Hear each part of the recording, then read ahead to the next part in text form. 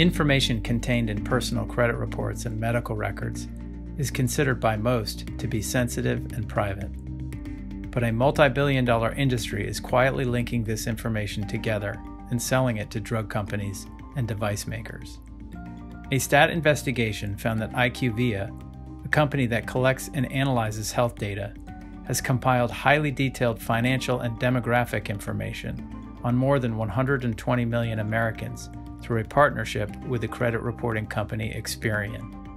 The data, including information about income, occupation, family size, ethnicity, and other details, were combined with records on their diagnoses, prescriptions, and doctor's visits to identify common characteristics.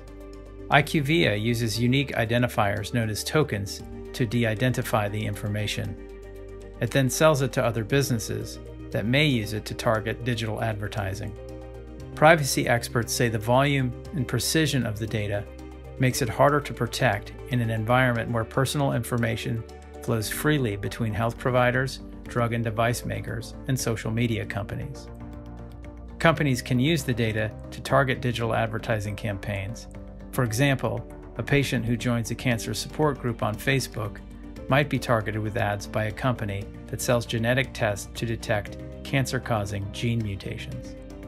And since the data were de identified initially, privacy rules such as HIPAA provide limited protection for consumers who have no way of knowing how their data are being used.